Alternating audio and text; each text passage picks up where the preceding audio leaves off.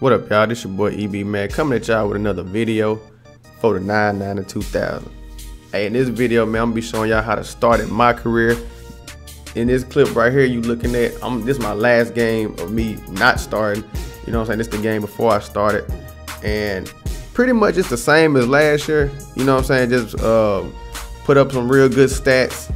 You know, go to a team where you know your position ain't, you know, filled with somebody with a high overall you know, I went to the Nets because I play shooting guard. Now, if I played point guard, I wouldn't dare go to the Nets. You know what I'm saying? Because they got Kyrie. If I played power forward, I wouldn't go because you know they got KD. So or small forward. I don't know what position. I think he played power forward on here. But anyway, so them the tips I can give. Pause. You know what I'm saying? I'm gonna go to my uh, my minutes or whatever after I upgrade my badges or whatever.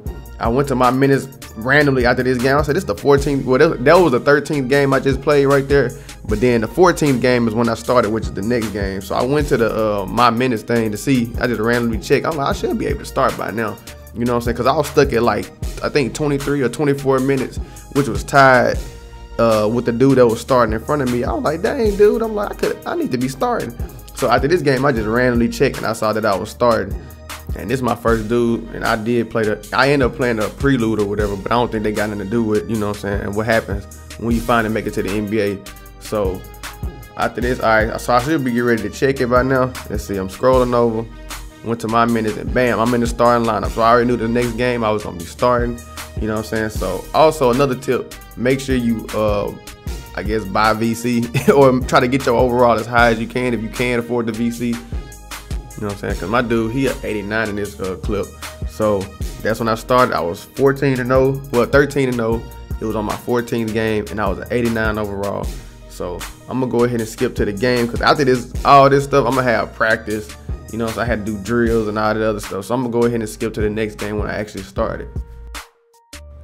All right, so I'm at the next game. Well, I'm gonna go to play next game against the Hornets, January 5th.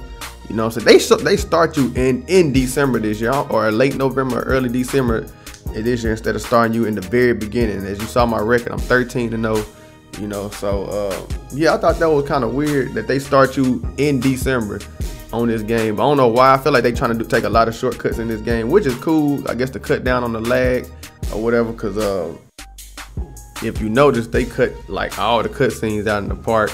But like when you get your haircut and your tattoos, and they cut a lot of that stuff out when you going into the store, all that. So this is what it look like. I'm not sure if every game gonna look like this. They showing them in the locker room. You're not getting a picture of nothing like you did last year.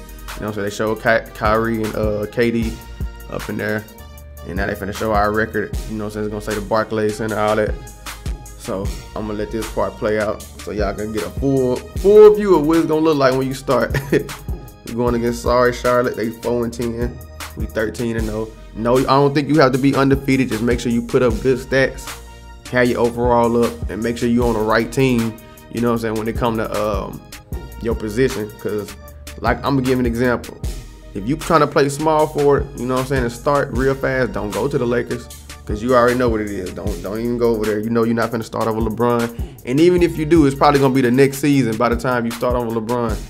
Cause you're gonna have to get uh, what like 99, 98 overall just to uh, pass him up.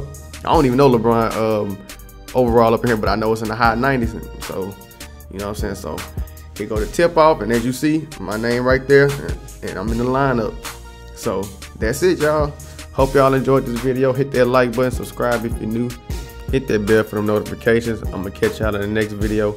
I'm out.